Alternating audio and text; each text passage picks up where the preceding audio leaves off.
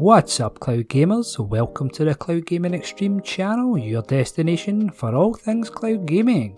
Xbox is back again with more cloud gaming news, so that means I'm back and you have to listen to me drivel on about another 5 games that are coming to their cloud service.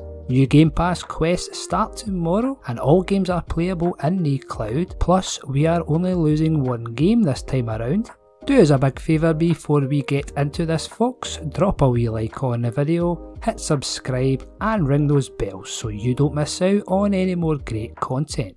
The first two games will arrive July 8th and we'll begin with Dragon Quest Builders 2 which is a block building role playing game with a charming single player campaign and a robust multiplayer building mode that supports up to 4 players online. Despite the two, this is a completely standalone experience featuring new characters, an expansive world, unlimited building combinations, and a storyline that's sure to satisfy long-time fans and newcomers alike.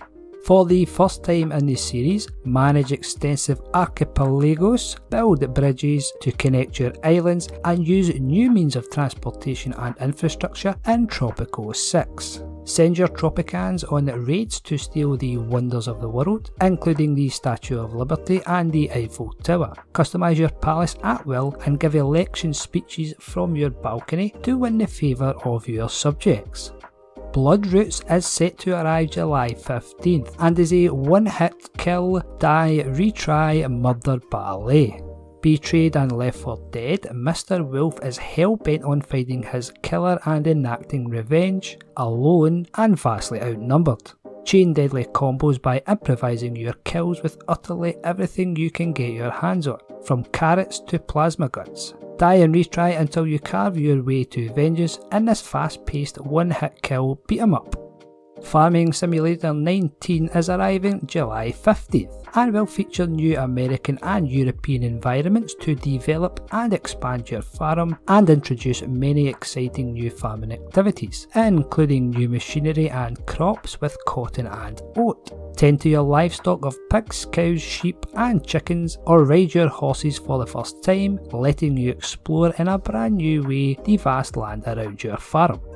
Discover a dark mystery only a medium can solve. Explore the real world and the spirit world at the same time. Use your psychic abilities to solve puzzles spanning both worlds, uncover deeply disturbing secrets, and survive encounters with the Maw, a monster born from an unspeakable tragedy.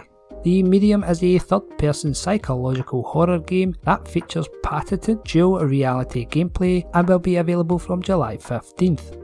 Okay, so normally I don't highlight the Game Pass quests, but this week they are all playable in the cloud, so let's run down what you can earn and from which games. Steal 5 cars in Grand Theft Auto 5 to earn 150 points. Play 1 Training Grounds match in Rainbow Six Siege for 150 points. Earn 1 achievement in Grounded to earn 225 points. You can check out all the Game Pass quests directly from your Xbox Game Pass mobile app, so remember to check them out and earn yourself some points which you can turn into rewards. We are losing one game this month which is Crosscode. You have until July 14th to check out this highly rated action RPG if you haven't done so already. Well folks, that's all for now. Stay tuned for potential Stadia news coming just shortly. Let me know what you think on the Xbox Cloud news today. Drop those comments below, we love to read them. Keep your eyes on all of our social channels for the latest cloud gaming news, tech reviews, comparisons and gameplay.